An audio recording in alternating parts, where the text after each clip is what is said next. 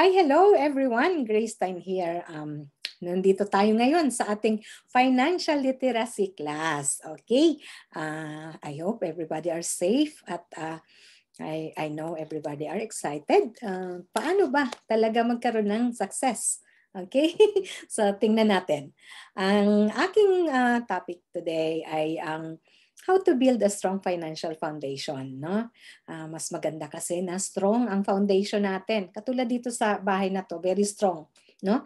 Kasi sa Okinawa, malakas ang bagyo.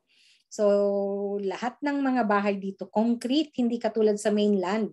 Uh, Japan, ang mga bahay ay uh, made of wood.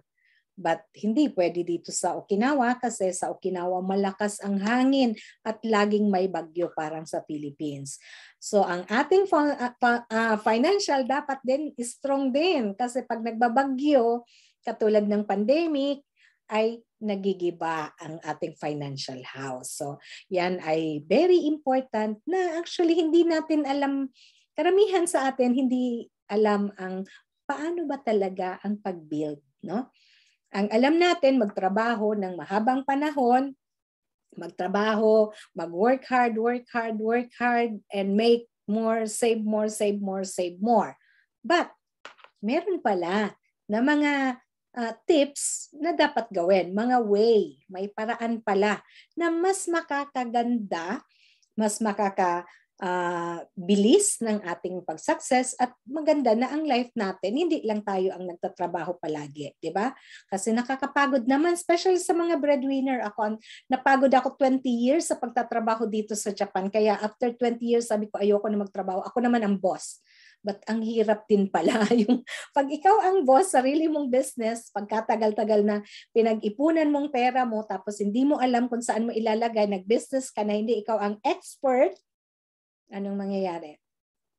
Yung pagkaipon-ipon mo, mawawala. Nawawala lang pala ng mabilis na hindi mo naisip nung nag-umpisa ka. Kasi ang akala mo, pag nagbe-business, nagsasucess ka agad, no? Hindi pala. Mahirap pala ang nagbe-business. so, but, um, ngayon, i-share ko sa inyo itong natutunan ko rin, no? Uh, I'm also a financial uh, planner, associate financial planner, at natutunan ko to na uh, may step by step pala, no? Ang life natin, minsan takbo tayo ng takbo, wala ang nag-guide sa atin. Hindi rin tinuro sa school kasi alam ko may mga uh, nakausap din ako na nag-school, hindi nila to alam eh. So kaya sabi ko, uh, i-share ko rin kasi nung natutunan ko to, lately din lang. Uh, may mga paraan pa pala, no? Na kung malalaman natin, kumbaga may kodigo na tayo, hindi na tayo magkakamali, di ba? Kung susundan natin ng pasunod-sunod. Okay, so let me share my screen para mas maganda ang ating presentation. Okay, so ayan, uh, isa rin akong entrepreneur. Sabi ko nga sa inyo, uh, nag-work ako uh, ng business, nag-business ako, but uh, yun, ma- medyo mahirap. But now, meron akong nakuhang bagong business na I do it from home. So ayoko na ng business na ako namuhunan ng napakalaki na uh, restaurant or something, no? Uh, kaya sabi ko, pwede pala mag-business na nasa bahay lang, no? So isa yan sa ginagawa ko at I'm also a personal development um, and leadership coach sa John Maxwell team at isa rin akong uh, associate financial planner. At ito, uh, to be happy daw pala, we need three keys Tatlo. Na itong tatlong ito, tingnan nyo sa gitna, maging smiley, may smile, no? May smile pagka yung tatlo nandyan. Magkakadugtong. Pero pag wala nitong tatlo, halimbawa, walang health, may problem ka sa health, may sakit ka, may nararamdaman ka, kahit may relationship ka and money, malungkot. ba? Diba? So ngayon, maganda naman sana yung relationship mo, may sakit ka naman or may sakit yung kapamilya mo, malungkot din. So ngayon, meron kang health and relationship, wala ka namang pera, malungkot din. So, kailangan pala natin lahat ito. Kung may isang mawala, kulang. So, dapat perfect itong tatlo. Okay? So today, i-share ko sa inyo itong about dito sa money. So ito yung how to build a strong financial foundation. So merong pyramid, no? So napapansin natin na itong pyramid, ano ba tong pyramid na to? Saan ba mauuna? So katulad sa akin, isang uh, ah, OFW din dati for 20 years, no? Ang inisip ko, mag-ipon, mag-ipon, mag-save, mag-save, mag-save. Nag-save nga. Yung savings pala natin, kung konti lang nilalagay natin, konti din pala yan. Lumaki, no? So, lalaki man yan ng matagal na panahon, pero hindi pa man nakarating doon sa matagal na panahon na ubos na natin kasi meron na nagkasakit, no? Uh, yung inipon-ipon natin. Ako, 20 years ako nag-ipon ng pera, no? Yung inipon ko, aksidente yung kapatid ko lalaki, yung nanay ko nagkasakit, wala, naubos. After 20 years na karating ako sa zero. Zero ang natira. Ano? So, yun. Ito pala dapat meron tayong right planning Minsan nag invest na tayo, invest na tayo, investor na tayo, pero wala pa tayong protection. Nagkasakit tayo. Yung investment natin, hindi natin natuloy, kinuha natin, ibinayad lang natin sa pagpapagamot. So, kaya pala, dapat meron tayong right na planning. Ilan ba talaga ang gusto natin? Exactly ilan. Kasi kung trabaho lang tayo ng trabaho, trabaho ng trabaho, ang daming nasa abroad na ilang taon na wala pa rin naiipon kulang pa rin yung naipon. May nagkasakit, halos lahat ng naipon na ubos. Di ba? Wala nang natira. So yun. Siguro maraming makakarelate dito. Kasi halos lahat ng nag-abroad, yung naiipon nila, tama lang. Tama lang pampagamot kapag kamay nagkasakit. Tama lang pagpapaaral doon sa mga anak or mga kamag-anak. No? So yun para pala maging mas maganda ang flow. Kasi pwede tayo mag-ipon, pwedeng ilagay natin dyan. Pag may problem, kukunin natin, babalik na naman tayo sa number one. So, pag may right planning pala tayo, how much we want, ilan ba talaga ang gusto natin na ipunin? Ilan ba talaga ang kailangan nating cash? Then, anong vehicle ang sasakyan natin? Anong trabaho ba dapat meron tayo? Anong investment pa? Anong uh, business ba dapat meron tayo? Kasi kung malaki ang gusto nating ipunin, so ang trabaho naman natin, ang liit ng income natin, kahit mag-ipon tayo, paunti-unti, mag-investment tayo, hindi man maaabot yung pangarap natin. Di ba? So dapat alam natin ang pangarap natin. Ito bang ginagawa kong trabaho? Ito bang ginagawa kong investment? At yun ba dito sa pangarap kong milyon? Kung gusto natin ng milyon, dapat yung trabaho natin na ginagawa at yung investment na ginagawa natin ay makakapagdala sa atin dito sa milyon. Kasi baka mamaya, ang gusto nating puntahan malayo, gusto natin abroad, ang sasakyan natin ay jeepney, paano ka makarating sa abroad? Kahit pa Mercedes yan, hindi ka man makarating agad kasi kailangan mo eroplano. 'Di ba? So yun ang ano, ngayon natutunan mo, minsan huli na. Ay, Naku, ang hirap na yata niyan hanggang mag-give up ka na sa iyong dream. So karamihan sa atin, nag-umpisa, malaki ang dream. Pero after a while, yung dream na wala. Kasi inisip niya, ay hindi ko na kaya. Sana pala noon pa. Sana pala nag-aral ako noon pa. No? But kung may nag-guide pala sa atin. Sabi nga ngayon yung mga mga successful, yung mga milyonaryo, hindi naman pala nag-aral yung iba noon, hindi naman nakapagtapos ng college pero milyonaryo sila. Dahil meron sa kanilang nag-guide. At meron may nag-share sa kanila kung paano anong sasakyan ang sasakyan nila. 'Di ba? Isipin niyo tayo nagpunta ng abroad. Malay ba natin kung paano magpunta ng abroad, no? Minsan, yung high school graduate, katulad sa akin, high school graduate ako, yung mga kaklase ko, nag-college, pero sinasabi nila, Grace, buti ka pa. Eh, high school nga lang natapos ko, but magan mas okay yung buhay mo? Kasi may nag-guide sa akin.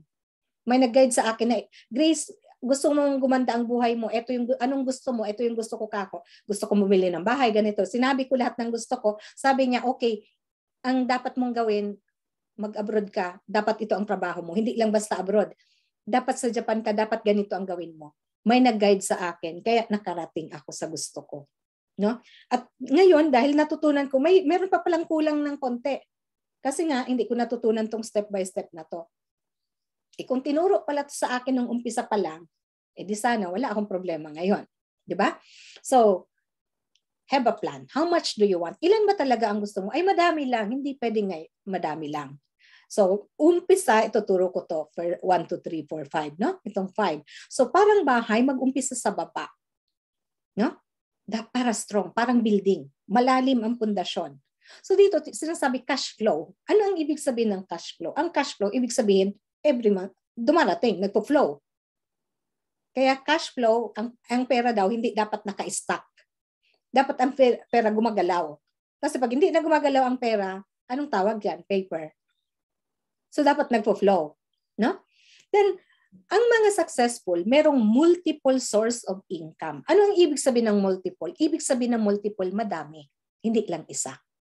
Kasi kung isa lang, pag natanggal ka sa trabaho, ano nang kakainin ng family mo? Wala na. Kung nagkasakit ka, sino na magtrabaho? Wala na. So paano na ngayon? So kailangan natin ng passive income. So hindi ko alam kung anong meron kayo, but you should have some passive income no? Kung kulang yung ano mo, kinikita mo doon sa pangarap mo. So ano ba yung pangarap mo? Ilan ba ang gusto mo? So I'm sure, karamihan hindi pa alam ilan ba talaga. Sabi nung mga kakilala ko, ay, basta meron lang akong ano, 2,000, okay na sa akin. Pero nung, o oh, sige ka ko, ikwenta mo. Nung kwenta, ay, kulang pala. Oo, kulang kasi hindi natin kinikwenta. So unang-una, have a passive income. Madami, no? So ano yung sasakyan mo? Yung trabaho mo ba ngayon, yung ginagawa mong whatever investment or ano, kasya ba yan? Doon sa pangarap. So meron ako, uh, nakakuha ako ng way. So ngayon, uh, meron din akong multiple source of income ko, no? So meron akong uh, real estate, meron din akong teaching, at meron din akong six ways to earn from home, no? So dito sa ano, habang nasa bahay ako, anim, may anim akong ways. So ilan ang ways ko to make income? So kahit paunti-unti, eh kung madami 'yan, pag pinag-isa mo, madami pa rin, di ba? So make a passive income, no? Cash flow. Once na may cash flow ka na, na, na babayaran na lahat ng basic needs mo, ilaw, tubig, pag-aaral, pamasahe ng bata, baon ng anak, kung ano-ano, whatever na pangangailangan mo, no? Bili ng damit, kakain sa labas, whatever, na needs, no? Dapat magsobra yan. Kasi kung kulang yan, paano mo ka makakapunta sa number two na protection? Pag may nagkasakit, sino magbabayad? Saan ka kukuha? Pag mag-aaral ang anak ng college, saan ka kukuha? Diba? Kung anong nangyari sa'yo, saan ka kukuha? Insurance mo. So hindi ko to alam dati, healthcare, kaya naubos yung pera ko. Kasi mahal pala. Sa Pilipinas, nung nagkasakit yung, ay na-aksidente yung kapatid ko, two and a half months sa hospital, nasa 2 million mahigit ang nagastos ko rin. So dito sa Japan, nung na-hospital siya dito, ang one month pala dito, pag nasa hospital ka lang, wala pang operation or anything doon, uh, nasa half million. Ako din, uh, isang araw sa ospital, nagbayad kami ng nasa 700,000 isang araw. So mahal pala kung walang healthcare, no? So, dito sa protection, sabi nga, kailangan daw ng 10 years ng income mo ngayon. Eh kung 10 years ng income mo, hindi ka na pala kakain ng 10 years, no? Para lang i-protect yung iyong ano kung ano mangyari sa iyo. Or 20 years of income to protect kung gusto mong maging maganda ang buhay ng family mo, medyo abonda, or pag tumanda ka, syempre pag tumanda ka, wala ka ng income, or baka kalahati na lang ang pension mo, kailangan mo ng ano, mag-save ka na ngayon ng medyo malaki-laki. No?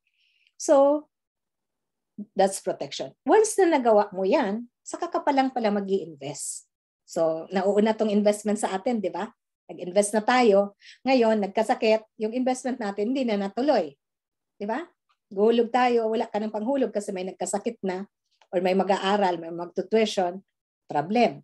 So yung investment, yung business, hindi na matutuloy kasi hindi mo na mapoprovide kasi kulang. No? So before pala tayo mag invest maglalagay ng pera. Kaya karamihan ganun eh, naglagay ng investment, after a while, tinigil kasi hindi na makontinue dahil nawala na ng work.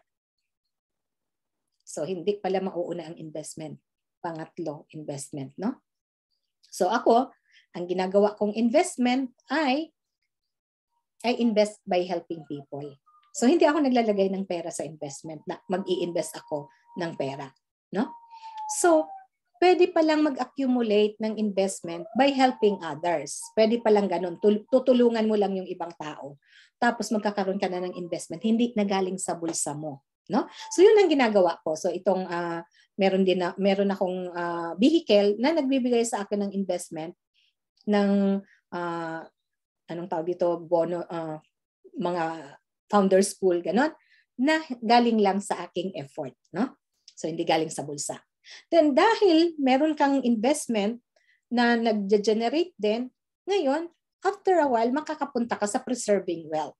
No? So may magkakapera ka na, so y- kung ano man yung makakabili ka na rin ng mga mga ari-arian mo, halimbawa real estate, then mababaya, magkakaroon ka ng pera na para sa mga estate taxes niyan. Kasi kung ano mangyari sa iyo, hindi yan nila mapapakinabangan hanggat hindi yan provided ng pera mo para sa estate tax. Kung wala kang nilaan na pang estate tax niyan, hindi nila yan mabebenta. Di ba? Bebenta nila yan ng mura, masasayang pinaghirapan mo ng matagal na panahon tapos binenta lang ng mga anak or mga apo ng mumurahin kasi wala silang pambayad, no?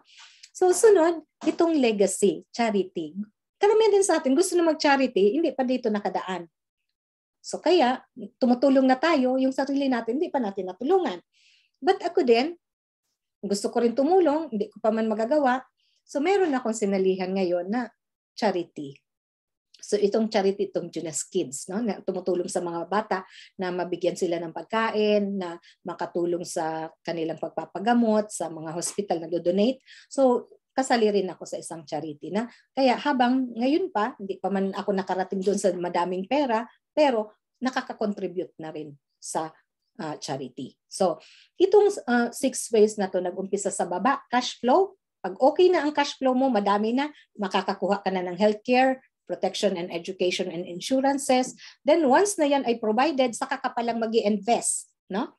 So kung uh, may pera kang pang-invest, mag-invest ka or meron pa lang investing by helping people. So meron ganon.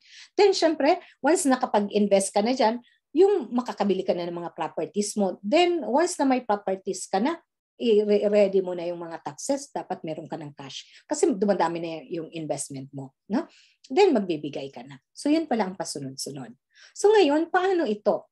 So, sabi, ilan ba talaga ang income, Grace? Yun nga, alam namin pasunod-sunod. Tama ba talaga yung ginagawa namin? So, ito yung tinatawag na 10-20 rules. No? So, ito daw yung formula to secure your monthly income if you lose your job nawalan ka ng work. So paano na? Wala ka ng income. So yung salary mo daw, ito times mo by 12 months. So yung 12 months, yearly, it times mo by 10, 10 years. Kung may pera ka daw ng 10 years na yan, ilagay mo sa investment na nag-i-interest ng 10%. Kasi yung 10%, madaming investment na safe naman yan, 10%. Then, i-divide mo by 12 months yung income mo then makukuha mo yung monthly income mo. So ito, kung gusto mo lang na ang ang lifestyle ng family mo ay same lang din. Pero ito, sabihin natin, meron ka nito, pero pag tumaas ang bilihin, magkukulang yan kasi every year tumataas ang bilihin. So for example, sa Philippines, ang income ng average salary sa Philippines ay 50,000. So dahil 12 months, 600,000 a year, no?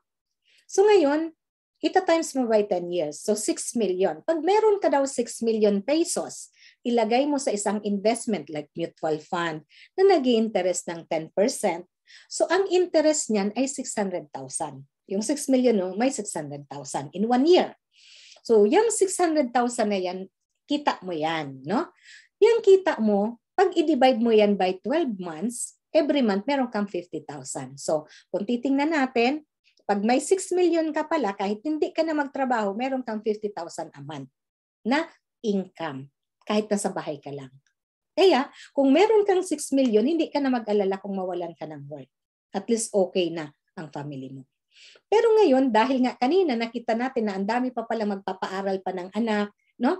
Kung may utang pa pala, may binabayaran pa sa bahay, bakit kailangan natin ng medyo madami-dami, no? So ngayon, to secure and have extra to travel or a little abundance din ng family natin, kailangan daw nating i-multiply by 20. No? So halimbawa, ang ating average sa salary ay 50,000. I-times natin dahil 12 months ang 1 year. So 600,000, same pa rin. No? i-times natin by 20 years. So ilan ba ang 20 years na, na pag inipon natin ang ating salary na 50,000? So magiging 12 million pala yan. So pag 12 million ang iyong pera, ilagay mo sa 10% na interest rate, sabi natin mutual fund, no? Ngayon, every year pala, may income ka na 1.2 million. Yung 12 million mo nandyan intact pa rin, hindi nababawasan. Then, yung 1.2 million ay income mo. So, yung 12 million mo, nag-generate ng money. No? nag invest ka, investment. So ngayon, yung 12, 1.2 million mo, pag i-divide mo by 12, every month, meron kang 100,000 pumapasok sa'yo every month. So kahit matanda ka na, so siguro medyo okay-okay itong pera na to. No? 100,000 a month. So pag may 100,000 a month ka, medyo okay. Di ba? So gusto ba natin yan? So ang tanong ngayon, maganda pala talaga yan.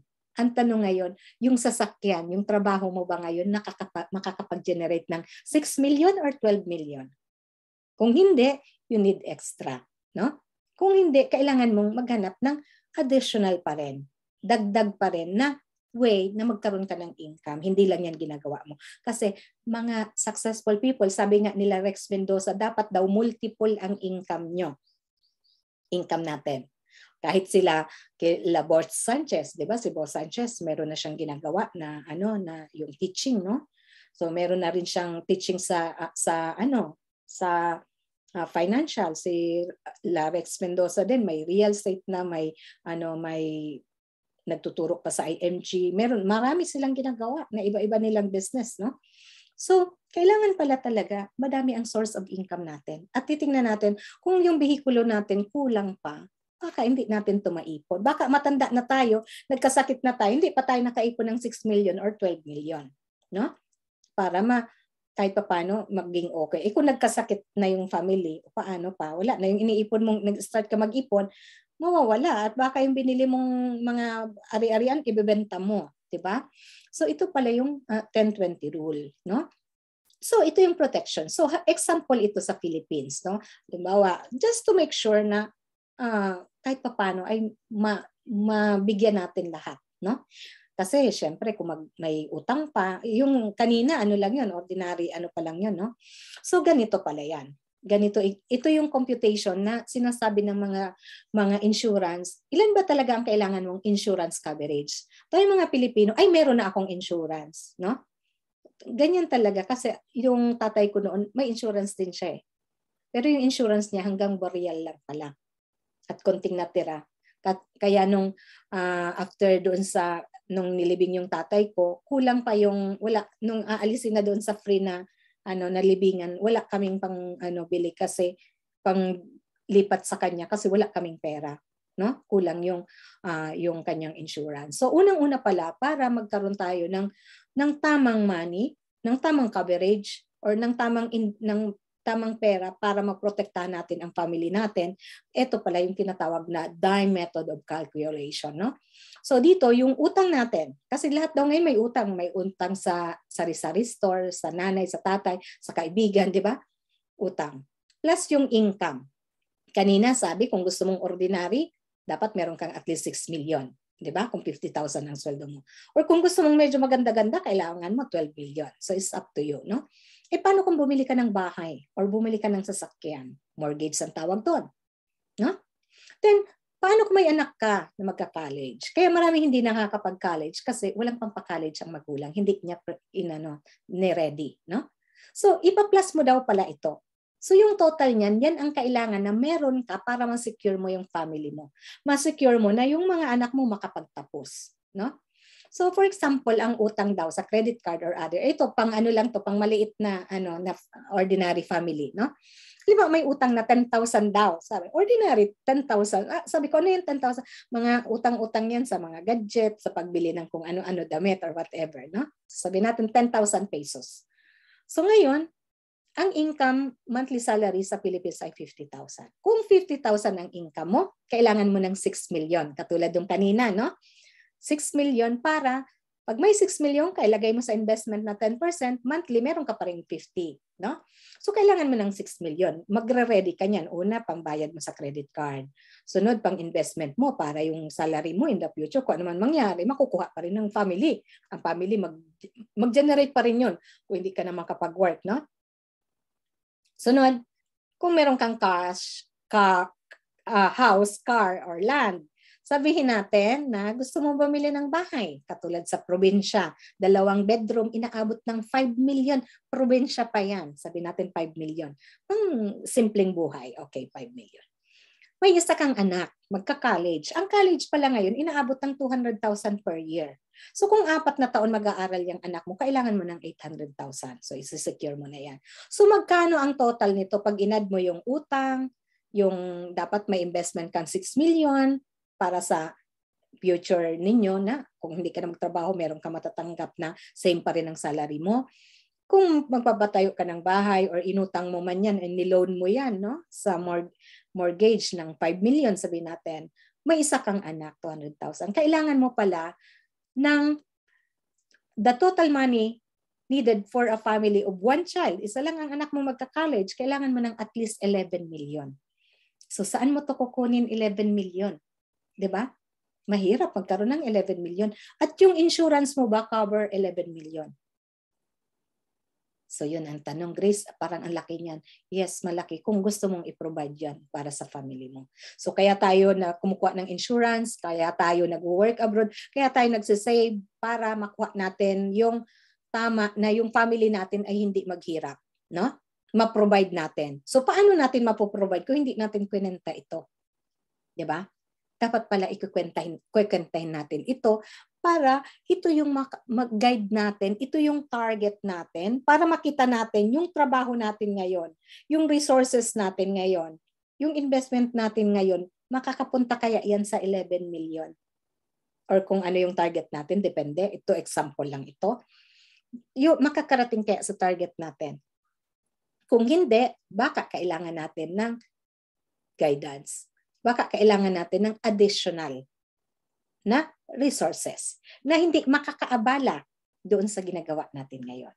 So actually katulad sa akin, meron na nga akong ay, sinabi ko sa inyo, meron akong iba-ibang resources kasi yung pangarap ko mataas nung nakita ko tong numbers na to. Hala, mataas pala. Akala ko okay na ako, hindi pa pala. Kaya ngayon, I continue to teach, I continue to do my business, no? Uh, meron akong online business, may real estate ako. So, ginagawa ko tong mga to dahil kulang pa pala to secure the family. So, ayan, I hope na um, I hope na marami kayong natutunan today at uh, I have other um, uh, resources na pwede ninyo rin gamitin but let me know if you need kasi I will invite you to our webinars kasi meron akong iba-ibang uh, resources na malay natin makatulong din sa inyo. All right, so I hope um, everybody learned from our session today.